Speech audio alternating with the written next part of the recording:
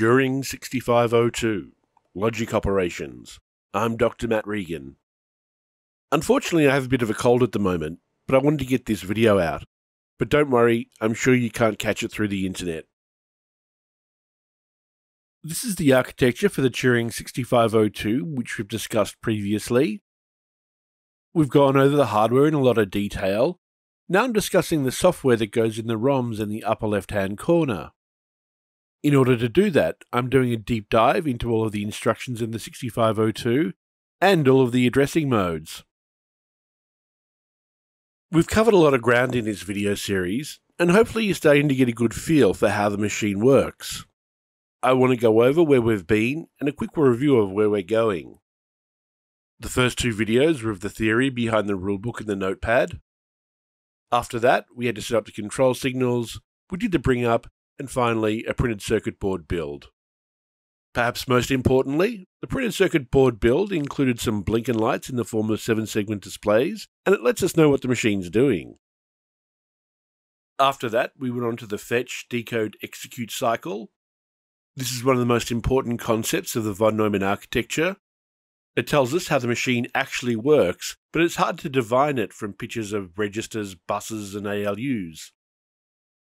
In the conditional branch and jump video, we started looking at specific 6502 instructions.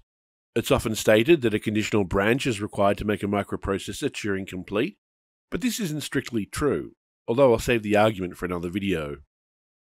Next, I went over the two index registers in the 6502, and this is required to understand the two subsequent videos on absolute addressing and zero page addressing.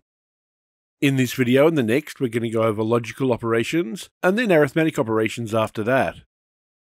Collectively, these cover most of the function of the ALU. After that, we'll look at the stack and subroutine calls, and finally, we'll look at the reset procedure. This is John von Neumann, who the von Neumann architecture is named after. He's a Hungarian born World War II mathematician who worked on the Manhattan Project.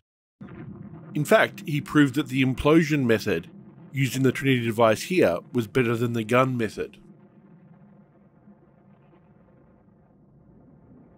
He wrote this paper, titled First Draft of a Report on the EDVAC, which defined many of the core features of the von Neumann architecture, including the arithmetic logic unit. On the 6502 architecture, the arithmetic logic units presented here in blue, it's tightly associated with the accumulator and the status register. There are three hidden registers it uses the A register, the B register, and the hold register. I've used a slightly different naming convention than the 6502.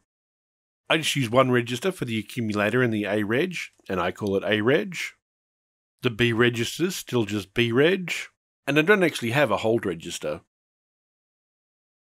I've separated out the arithmetic and the logic functions and in this video, we're going to go over the logic operations. These are AND, OR, XOR, and BIT. In the next video, I'll go over rotate and shift, although shift left can be considered an arithmetic operation. Let's start off by looking at the AND operation. Before I go to look onto a specific example, we need to look at the immediate addressing mode in a bit more detail. I did cover it previously, but that was for specific instructions. Let's look at the general form for this addressing mode. In immediate mode, there are two bytes per instruction, the opcode and the operand. The operand is used by the ALU, and it's located in the memory address immediately after the instruction opcode. Let me show you an example. Here we have a fragment of code, but when we get down to 87A7, we see the AND immediate instruction. The value 2 in the next location, A7, A8, is used by the ALU.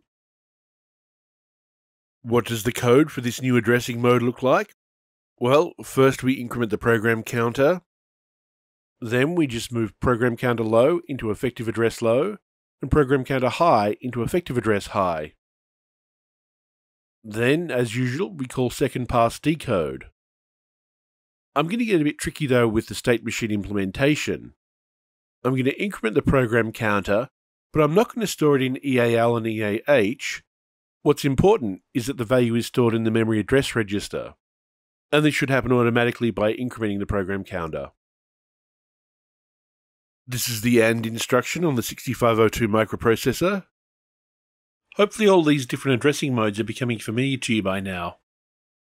Typically, an AND gate has two inputs and an output. For the output to be high, input M and input N both need to be high, otherwise the output will be low. But the 6502 operates on 8 bits at a time, so how does this work? Well, let's start with the first bit. Bit 0 from the accumulator is transferred into bit 0 of the A register. The B register, including bit 0, is usually loaded during the decode phase of the fetch decode execute cycle. Bit 0 from the A register and the B register are fed into an AND gate.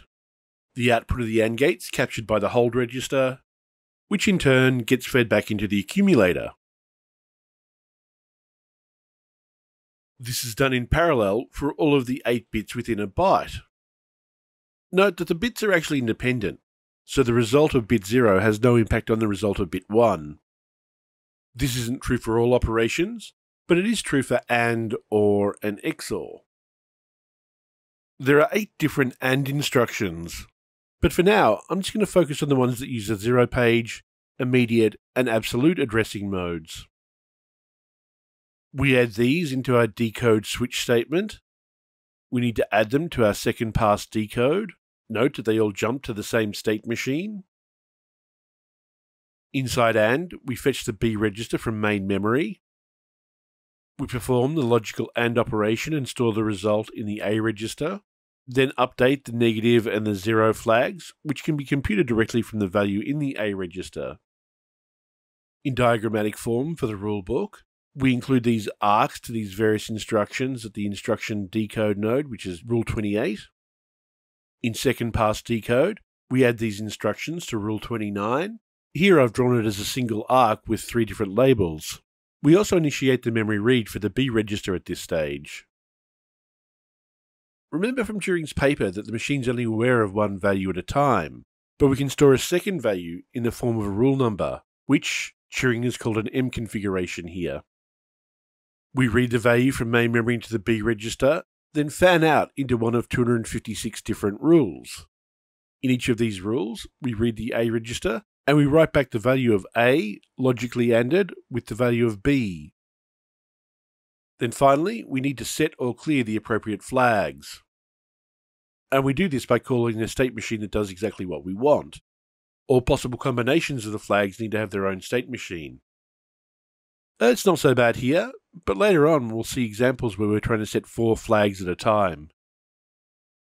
In this example, from location 87A7, we should sequentially go through rules 28, 326, 29, 2023, 2026, and back to 74.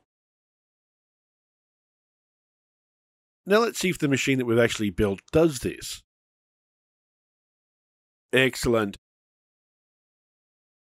The next instruction to look at is the OR A instruction. The 6502 has eight of these. Like AND gates, OR gates have two inputs and an output.